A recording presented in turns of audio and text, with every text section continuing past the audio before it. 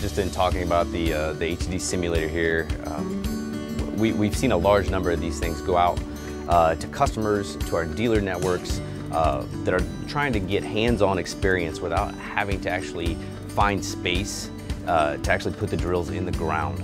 Uh, that seems to be kind of a big problem, uh, especially in urban areas where you don't have readily available space to just go get guys on the sticks to learn how to drill this, this, machine does very well in trying to uh, just get repetition. Uh, yes, you don't feel the pressures of the ground and some of the uh, some of the under, underground structures that are there, but you do get a very good uh, sense of trying to run the sticks, uh, the controls in a easier environment. And let's ease into it just a little bit. You'll see the rod jump.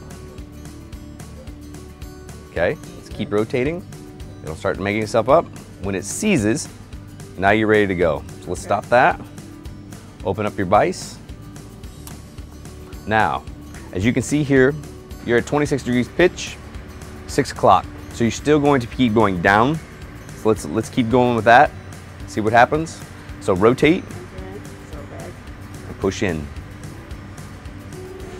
There we go. Perfect. Now you can see on the screen there where your drill head's going as the optimal line is actually dotted on there, you can see where you're at with everything. We've had a number of successes with these machines from our customers, uh, our dealers, uh, some of the guys that really are in this industry and uh, are looking for a way to, to use, uh, to get their, their employees up to speed on the machines. Uh, the beauty of our S3 line uh, with Vermeer is that the fact that the, the, seats and the, and the buttons and everything are the same throughout the entire line. So including this uh, HDD simulator, the buttons, the controls are the same even on the real drills.